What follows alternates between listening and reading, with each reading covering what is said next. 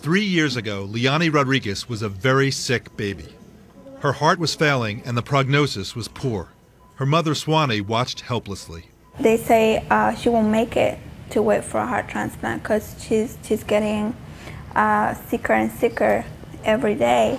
But Liani was lucky enough to get an experimental device called the Berlin Heart.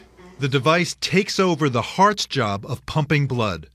A tube implanted inside the heart channels blood to the pump, which sits outside the body. It then sends blood directly to arteries supplying the rest of the body. This is Liani today. She just celebrated her fourth birthday.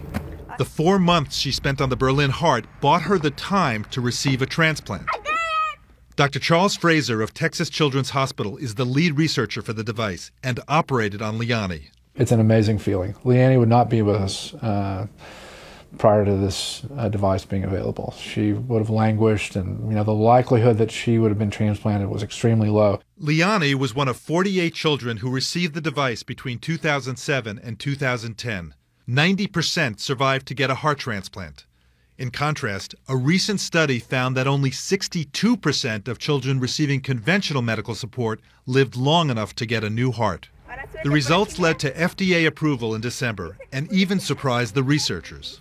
We all believed that the patients were going to do well, but we didn't, I, I certainly didn't believe more than 90% of them were going to do well. Jon LaPook is uh, with us. Uh, uh, Jon, I, I, guess we never stop and think about this, but it must be very difficult to get the hearts that these children need. So this does make a difference. Absolutely, Bob, because think about it. You can't take a big heart that goes in the chest cavity of an adult and put it in the tiny chest cavity of a baby or a kid. There simply aren't enough of these tiny hearts to go around. And in fact, the average wait for a kid to get a heart transplantation is two to three months. So for them, this Berlin heart can be truly life saving, what's being called a bridge to transplantation. Man, thank you, Jon.